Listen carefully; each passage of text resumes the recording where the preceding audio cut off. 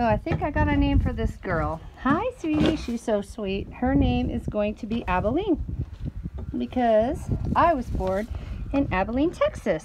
So we are going to name her Abilene. You look like an Abilene. She's pretty. She's a friendly little girl. To get me. Whoops. She's not being right at the moment.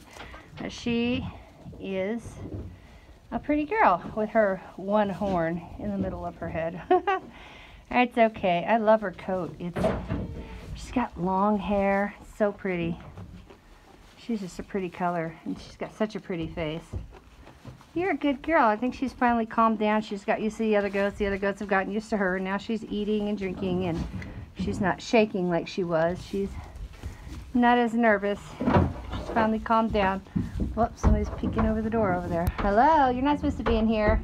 What are you doing? Get back out there. You guys don't belong in here. Get back out there. That was Lucy or Rose. Got the two Pregos over here. And then Spiffy, Lucy, and Rose are out there. Spiffy's having a bloat problem, so I'm... Lucy, get down. I'm dealing with the bloat problem. I don't really know what's going on with her. She's the one that lost the kid, but hopefully the stuff I've given her will help her relieve that gas in her belly.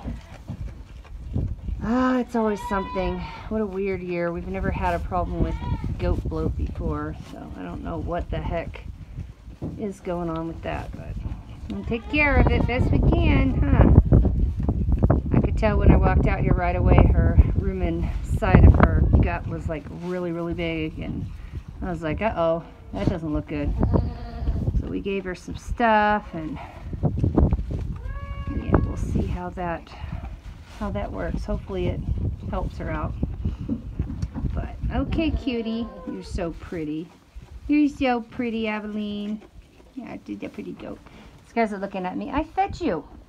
I just put hay in your thing. Hello. Yeah, who didn't I get? Oh, I didn't get Mia down there. She's waiting. You guys, yeah, you already had your grain. I think she's worried about the goats that are running around out there. They're not supposed to be on that side. Hey, hey, up. Well, for me to go. I gotta go pick that up, and I hope the lid was on that. That's baking soda, so, yep. Okay, gotta run. Yeah, you naughty girls, you better run. Yeah, you're in trouble, aren't you? okay, we're to shut this off for now. Yeah, I got to go pick it up. You spilled it, didn't you? Hopefully I had the lid on it, but it probably wasn't that tight. All right, y'all later.